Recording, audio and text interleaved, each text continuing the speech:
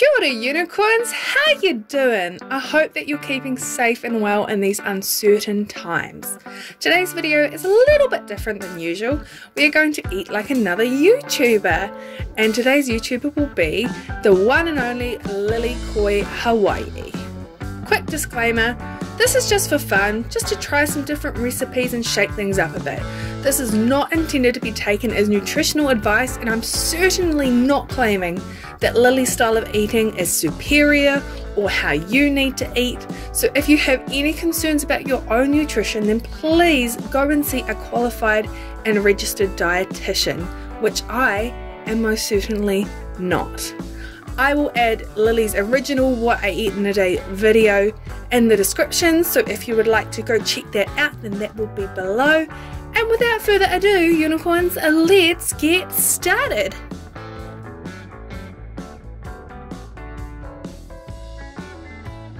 So I started the night before by making up my lunch for the following day, which was of course tofu poke. Lily has a separate recipe video for this on her channel, so I will link that below. I did follow the recipe, however, I was missing coconut aminos, so I used soy sauce instead. A couple of other things I was missing I just left out. These include spring onion, some seaweedy flaky things she had, and sesame seeds. But what I did do was I chopped up a block of firm tofu, added the soy sauce and sesame oil, gave it a stir so it was well coated, and then I added in fresh garlic, red onion, and left that overnight to marinate.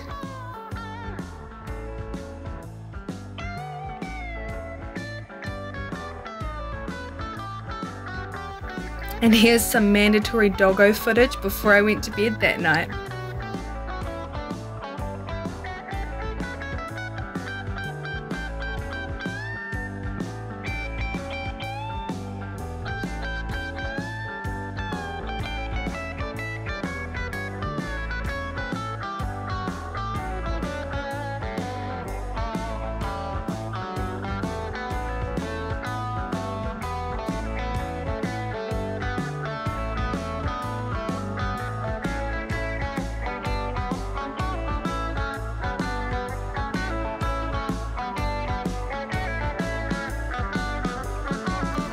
And then that morning before I went to work, I threw together the kale salad, which will be included in both lunch and dinner. I removed the leaves from the stalk of the kale, then I added the juice of half a lemon before massaging it into the kale. I then added some red onion and half a capsicum, gave it a toss before adding some sweet chili sauce. I then split it into two portions, one for lunch and one for dinner.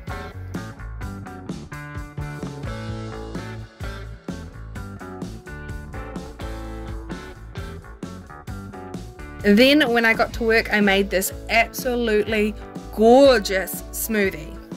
It had three bananas, turmeric, ginger, blueberries, flax seeds, molasses, pomegranate juice, and water.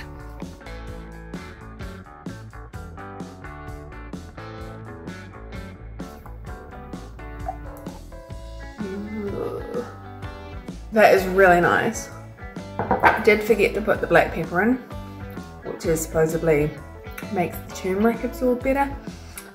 But oh well, that is really, really nice. I love ginger, which is why I put quite a big chunk in. So obviously if you don't like ginger, put a smaller chunk. But oh, that is good. I'm definitely gonna make this smoothie again. Mm. I did put um, pomegranate juice instead of cranberry juice. In the video, Lily uses cranberry juice but the only cranberry juices I could find have sugar or like an artificial sweetener. So I went for pomegranate because it was just pomegranate juice, no sweeteners, nothing added to it, so I much prefer that. And also I'm gonna be making pomegranate kombucha later in the week, so it made sense to just use that for this as well. But anyway, that is breakfast and it is delicious. So I'm gonna continue working and have that while I'm working. Mm -mm. Lunchtime has arrived, which I'm actually like so excited for. So hiding under there is a kale salad. Um, we've got some sweet potato, which I've just warmed up, hiding under here is a heap of chickpeas, avocado, and then from Lily's channel, she has a tofu poke recipe, which I have here. I just have not put the um, spring onions in because I just didn't have any. Um, and I don't have any dulse flakes, so she had dulse flakes on hers. But other than that, this is pretty much, what are you doing avocado? Get back in your place. this is pretty much exactly what she had on her day of eating. Um, I think she had a really busy day, so this is obviously quite a bit smaller of a salad than what she would normally have, but yeah, all good. I'm really excited for this, so let's just dig right in. Mmm, love tofu. Mm -hmm. Right, I'll see you for the next meal. Really cloudy outside now, that's why it's so dark. Lily had herself a plate of banana and starfruit. I could not find starfruit anywhere in New Zealand. So, I mean, not anywhere in New Zealand, but anywhere within my home city. So I have persimmon instead, which happens to be my favorite fruit dinner. This is actually the whole reason I chose this particular day of eating from Lily because I freaking love potatoes, hummus, and salad. If you guys follow me on Instagram, you'll know that because there is endless photos of those three together and also those three separate or with other things because they're just my go-to foods. I love them, especially potatoes. I am the potato queen. So we are gonna have potatoes Although Lily called them fries, but Lily, these are not fries. These are, these are like roasties or like potato quarters. I don't know what to call them. They're not fries. Lily girl, what are you up to? So we've got potatoes. She put some curry on them. I don't know exactly what she put on them, but she said they were curry fries.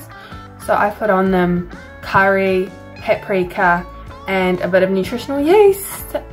And then I made some homemade hummus, oil-free of course. And then we have made the kale salad that I made earlier in the day. So I've got the leftover of that ready to serve up. And yeah, let me just show you how I made everything and I'll show you me planning it up. And yeah, let's do that.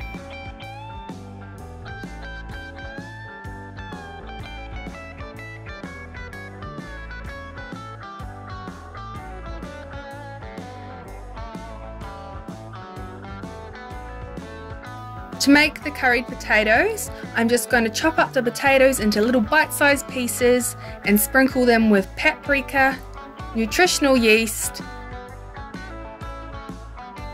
and curry powder. I'm then going to bake them for 50 minutes at 200 degrees Celsius.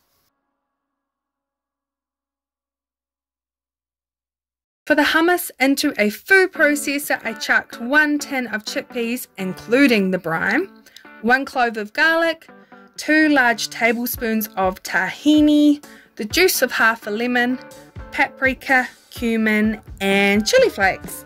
And then I blended it till it was smooth.